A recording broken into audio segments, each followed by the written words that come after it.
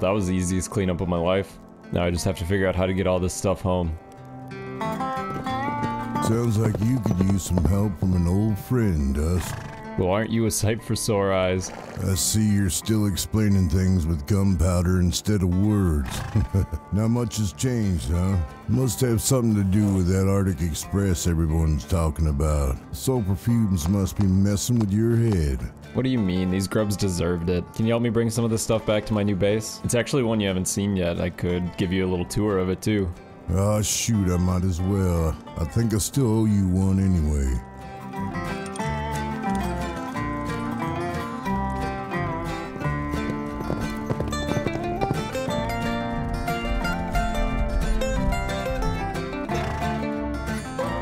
There she is. Home sweet home. Now there's a thing of beauty. You always did know how to make a statement.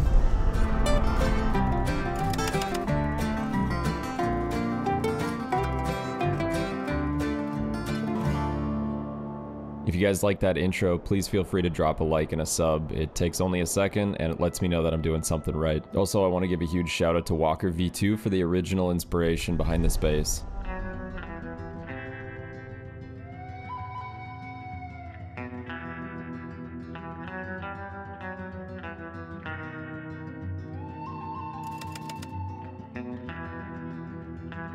Starting off our base tour, we have the Mini Satori and Mr. Man style quick disconnectable external TC. Placing a twig roof right here will allow us to disconnect them, and placing those frames back will just as easily allow us to reconnect. Coming in our gatehouse, we can see we have perfect visibility of the outside, and great visibility onto the inside of the compound.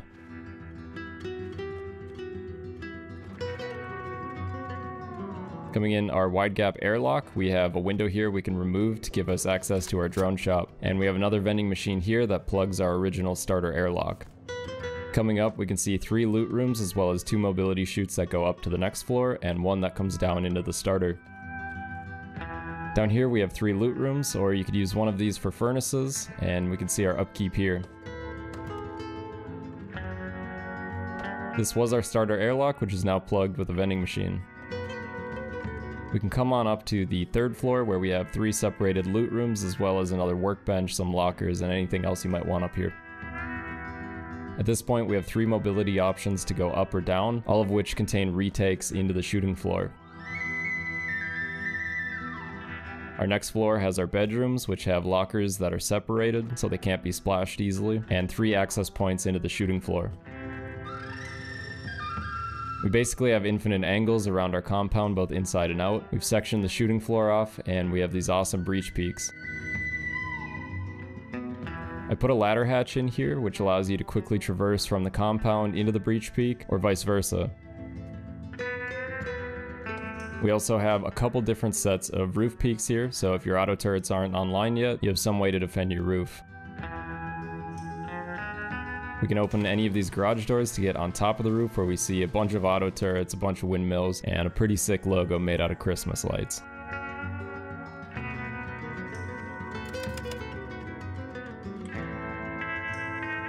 We can actually start off by just making a one by one with a double door on the front. We can place our TC in the back left or back right corner, and always make sure to put a code lock on it. We can expand out an airlock on this with another double door and a wood wall on the left. Just note that we're going to chop this out later. And this one by one will be enough to secure your build location. After that we can expand out with the following foundations.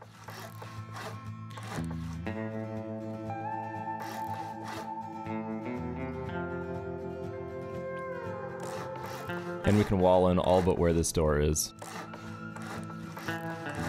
Should look something like this.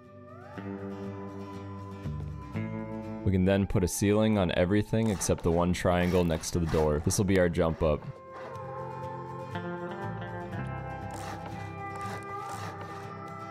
Build your jump up here and then seal the top like a normal jump up.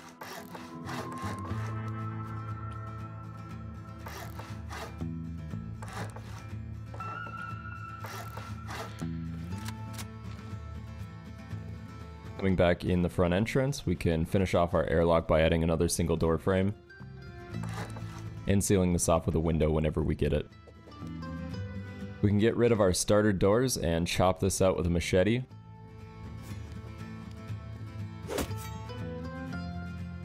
And place double door frames down on all of these sockets. Get sheet metal doors down and garage doors when you have them. I'm going to use this space in the early game for six furnaces, just because we don't really need all the loot storage yet, and furnaces are way more valuable right now.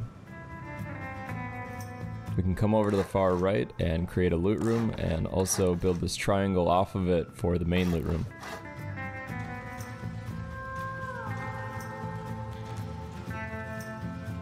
Feel free to use whatever loot room design you like here. I'm just doing four boxes in each just to make the video easy.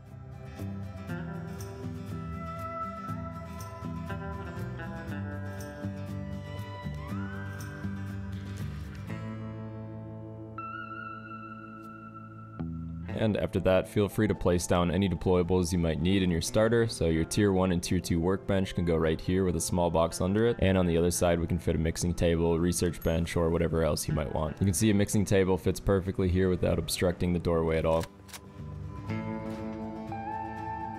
And there we go. We have our starter unit. If you're planning on just logging off at this point, you might want to upgrade the back half of it to metal, so then you have a 7 rocket total raid cost.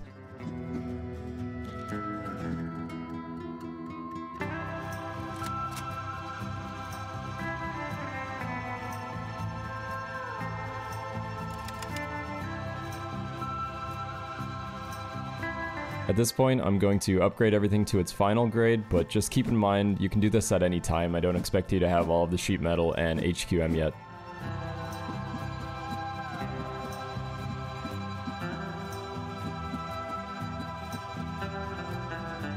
And then we'll come off of every single side and add a triangle foundation.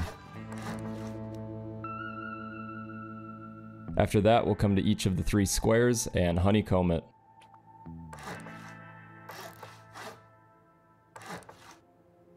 Again, I'm using the final grade here, but just use whatever resources you have at the time. After you're done, it should look like this.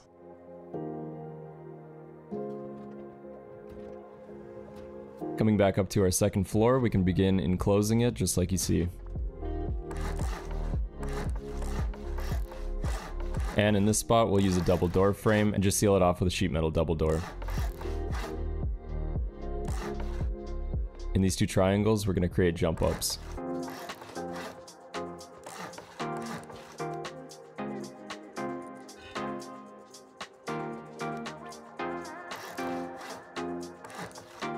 Make sure on top of these jump ups you use a half wall and not a full wall. Then we'll seal off the top with a double door. Keep in mind you can always reuse the double doors that you had in your core before you upgraded to garage doors.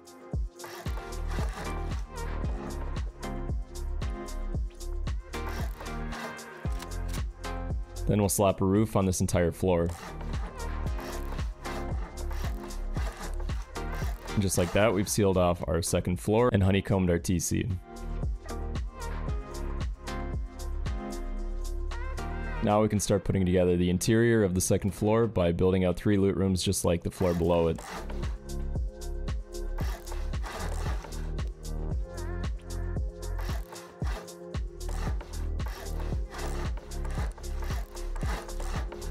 Garage doors on all of the sockets that you can afford to at the time. and then build out the loot rooms however you like. The two triangle loot rooms, I'm using four large boxes, and the square loot room, I'm using six. This isn't the most efficient layout for either of these, but it's the fastest to do, and it also gives you large box storage as opposed to a bunch of barbecues and small boxes, which in a real wipe are super inconvenient.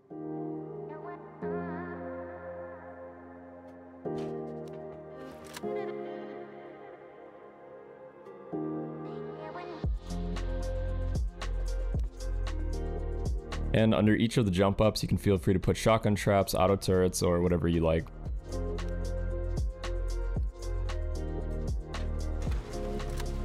And just like that, this is our first expansion.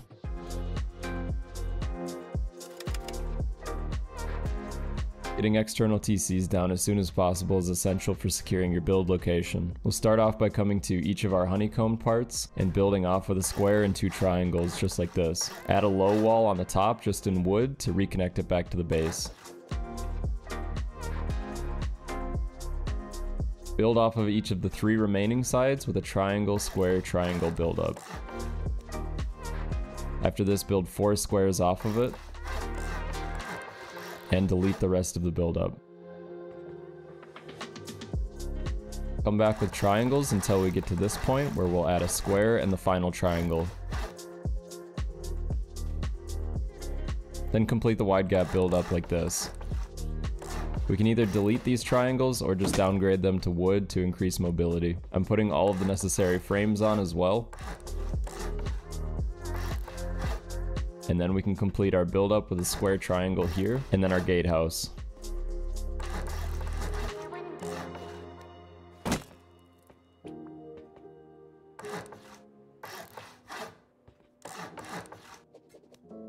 Just keep in mind you don't actually need this triangle foundation here after these frames are attached. And then we'll finish up our external TC with the following build out. Building the standard Mini Satori and Mr. Man style disconnectable TC here, which I'm sure you've seen in a lot of bases. The way that this is done, it's secured from six rockets.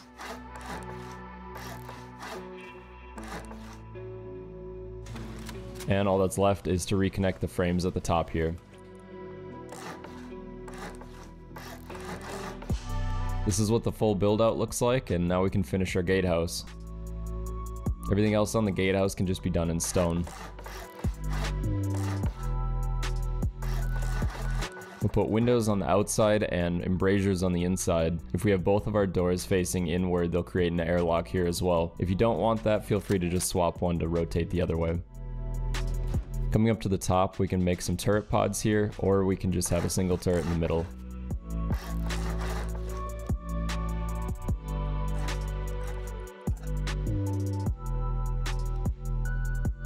Build twig off of either side here to place both of your barricades, and your gatehouse is complete.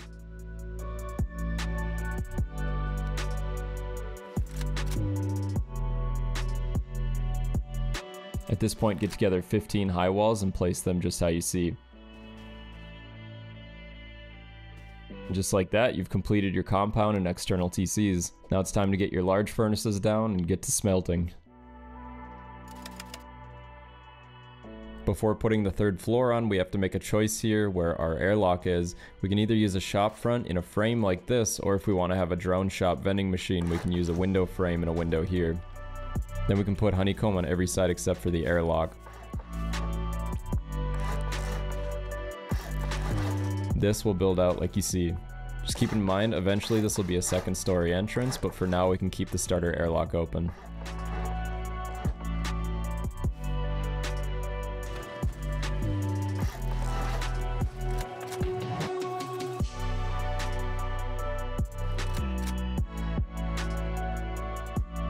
Coming over to the other two sides, we can honeycomb this just like normal.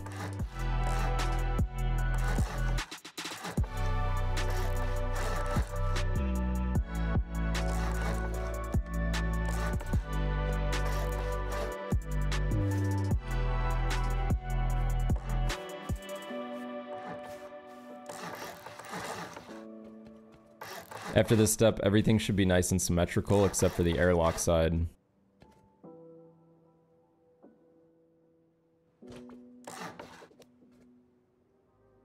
Off of this last square, build half-height walls and a jump up here with window frames on top. These will be our retakes back into the shooting floor.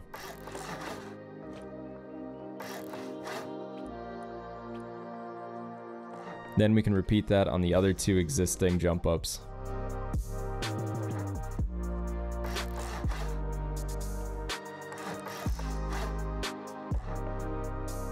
Then we'll finish off this floor by walling everything in. I'm doing the honeycomb right now, but if you don't have the resources, that's totally fine. Just wall in the inside. Then we'll put a roof on everything.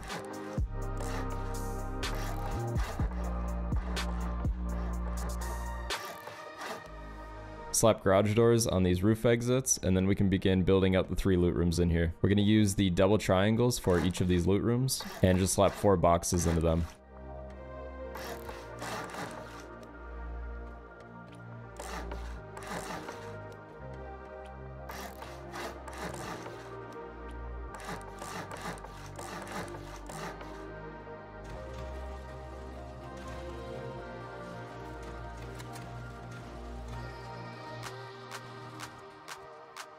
Cap off our honeycomb out here, and then we've got our third floor expansion complete.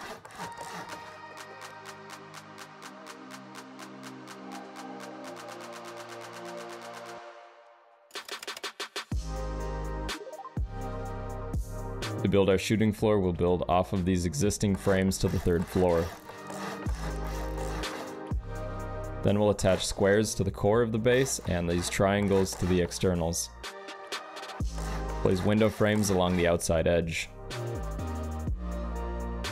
Coming to the raised foundations here, we can build up with two frames, add a floor and a floor frame, as well as a couple low walls. Make sure to get a ladder hatch in that floor frame. And then stack another set of windows on top of it. We can build our roof tiles here,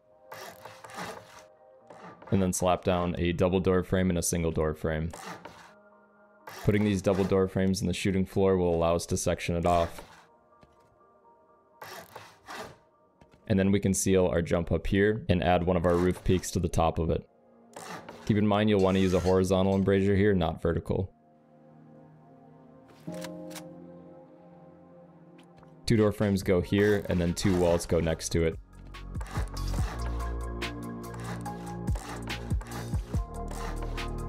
We can put either window frames or single door frames on here.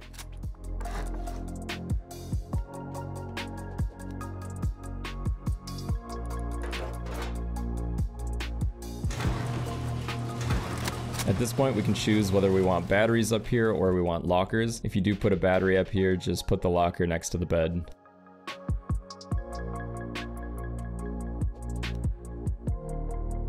Each of your beds can go in just like this. And then on our shooting floor retakes, we can put a horizontal embrasure on each of these. The last thing to do up here is to seal off the roof. Just in stone, we can go along the entire outside and seal it off like this. Once we get to the roof peek, we'll add half-height walls and a ceiling like this.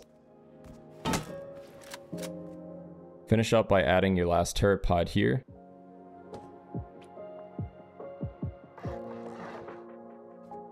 then these roof tiles facing outward. We can also add windmill towers up here. Uh, we can build up two and then add some triangles to it.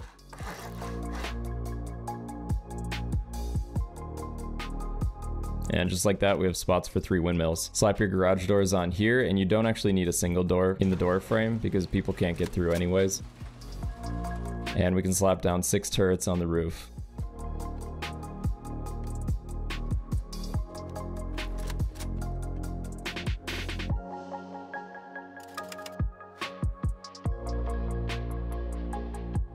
To increase our door raid path, we can come into our wide gap airlock here and get rid of this door and plug it with a vending machine. At this point, we'll put a ladder hatch here so we can go and have a second story entrance. Keep in mind you have to have the vending machine in before the ladder hatch.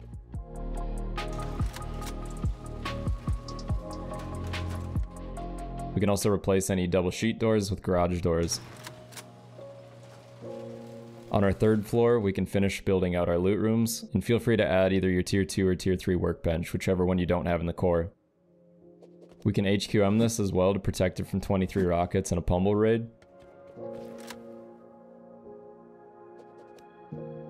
And down in the core, we can replace the six furnaces here with a loot room. At this point, I assume you have large furnaces, and there's plenty of other space in the base to fit those six. That's less fortified.